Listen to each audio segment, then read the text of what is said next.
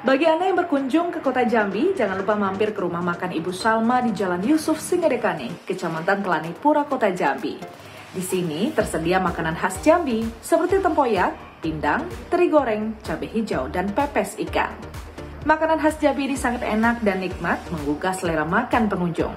Semua makanan khas Jambi ini hanya ada di rumah makan Bu Salma. Harga dijual pun cukup bervariasi dan sangat terjangkau oleh kantong Anda. Usaha makanan khas Jambi ini sudah dirintis sejak puluhan tahun lalu. Usaha ini merupakan turun-temurun dari orang tuanya. Makanan khas Jambi seperti tempoyak dan pindang merupakan menu andalan yang paling banyak dicari warga.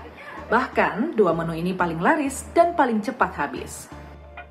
Ada pindang, tempoyak, pepes atau brengkes. Itu, hmm, itu itu menu utamanya orang sini banyak orang kantor gubernur tapi banyak juga orang dari luar kota kan pengen nyetip masakan Jambi Mm -hmm. di sini Berarti kita dari Jakarta itu banyak juga di sini Rumah makan Bu Salma ini banyak dikunjungi warga luar Jambi yang sengaja datang ke sini untuk mencicipi makanan khas Jambi. Untuk membuat tempoyak membutuhkan beberapa proses. Bahan yang terbuat dari ikan, durian yang sudah difermentasikan, serai, cabai, bawang, dan kunyit. Semua bahan dicampurkan dalam satu adonan untuk dimasak. Setelah matang dimasak, langsung diangkat dan dihidangkan.